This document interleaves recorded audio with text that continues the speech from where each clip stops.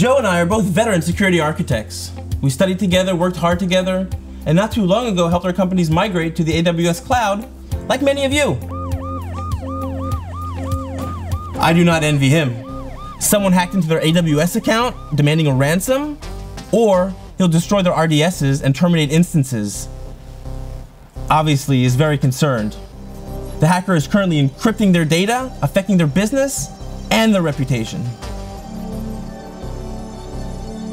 With every developer having access to the AWS console, the attack surface expands.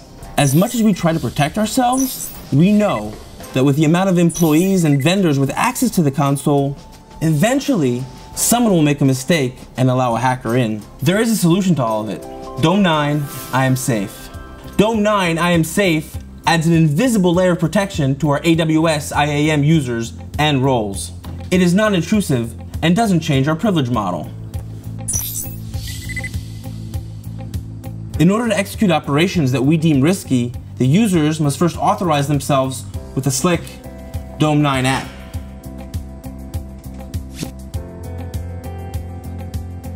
Even if a hacker hijacked an authenticated session, it is useless since he doesn't have the mobile device.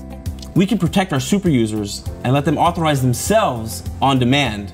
Each lease being tracked and audited, and any attempt to bypass the system is booby-trapped and exposes the attacker.